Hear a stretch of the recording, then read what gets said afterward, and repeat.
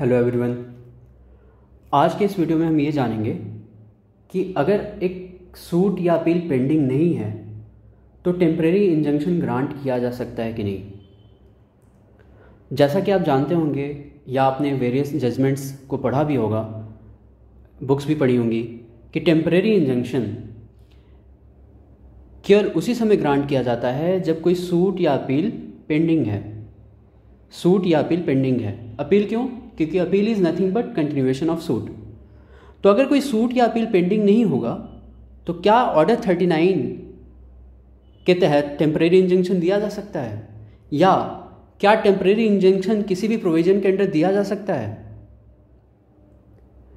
तो अब ये सिचुएशन कैसे राइज हो सकती हैं?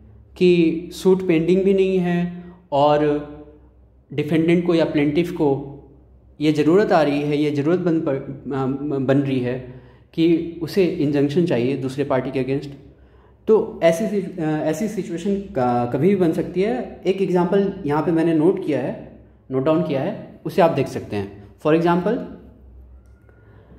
ए ने टाइटल सूट फ़ाइल किया है।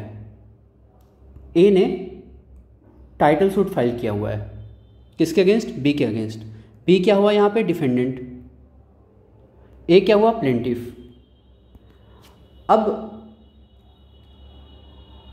अब बी ने बी की अपीयरेंस उस केस में हुई ही नहीं अब तक। उस सूट में बी अपीयर ही नहीं हुआ अब तक।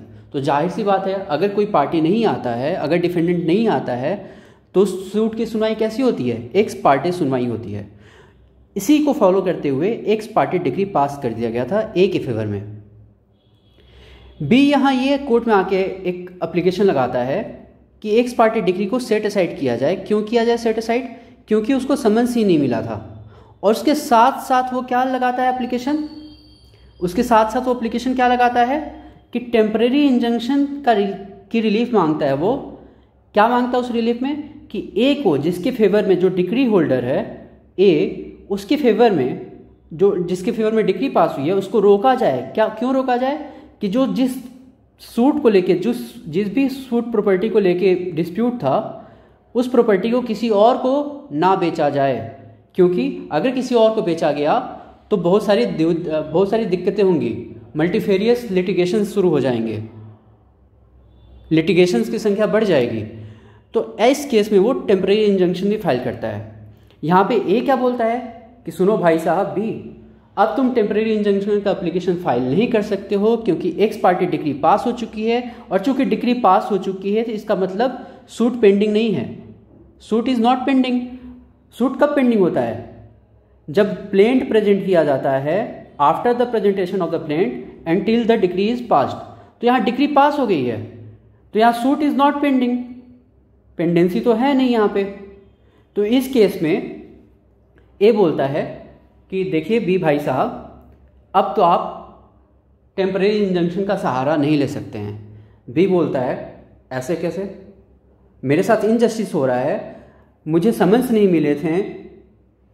मुझे पता ही नहीं चला था कि आपने मेरे खिलाफ टाइटल सूट फ़ाइल किया हुआ है। ऊपर से आपने एक पार्टी डिग्री अपने फेवर में ले लिया है। उस केस में अगर आप प्रॉपर्टी को किसी और को बेच देंगे तो फिर तो मुझे कठिनाई होगी। तो आपको बेचने से रोका जाए वो चीज़। इसके लिए वो सहारा लेता है सेक्शन 151 का।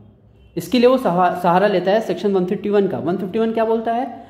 कि कोर्ट कहीं भी, ये कोर्ट सीपीसी कहीं भी, कोर्ट को उसके इनहेरेंट पावर को एक्सरसाइज करने से नहीं रोकती है। तो जहाँ एंड्स ऑफ़ जस्टिस की ज़रूरत है, जहाँ भी एंड्स ऑफ़ जस्टिस की ज़रूरत है, वहाँ पे इसका सहारा लिया जा सकता है। वहाँ पे टेम्परेरी इंजंक्शन का सहारा लिया जा सकता है। अब मैं ये बात कैसे बोल रहा हूँ? ये बात मैं फोर जजेस bench of honourable Supreme Court के जजमेंट पर रिलाई कर रहा हूँ, जहाँ मनोहर लाल वर्सेस सेठ हीरा लाल वाला it is it is one of the landmark decision on temporary injunction जहाँ बोला गया था कि order 39 order 39 is not exhaustive temporary injunction देने के लिए कई सिचुएशन अराइज हो सकती हैं जो ऑर्डर 39 में ज़रूरी नहीं है कि डील किया गया हो। तो order 39 is not exhaustive and the court has inherent power under section 151 C, 151 CPC to grant temporary injunction और इसी तरह का सिमिलर इशू इसी तरह का similar issue honourable Guwahati high court के पास आया था श्री योगेश शाह वर्सेस धर्मेश्वरी देवी में 2005 का जजमेंट है, जिसमें साफ़ साफ़ ही इन शब्दों में बोला गया था कि जहाँ सेक्शन जहाँ ऑर्डर 39 के प्रोविज़न अप्लाई नहीं होते हैं मतलब फॉर एग्जांपल जहाँ सूट पेंडिंग नहीं है, या अपील पेंडिंग नहीं है तो उस केस में सेक्शन 151 का सहारा लेके टेम्पररी इंजंक्शन का ऑर्डर पास किया जा सकता है। तो जो क्वेश्चन मैंने शुरू में पोज किया था कि क्या टेम्प्रेरी इंजंक्शन पास किया जा सकता, किया जा सकता है? जब सूट या अपील पेंडिंग नहीं है तो उसका आंसर है यस किया जा सकता है अंडर सेक्शन 151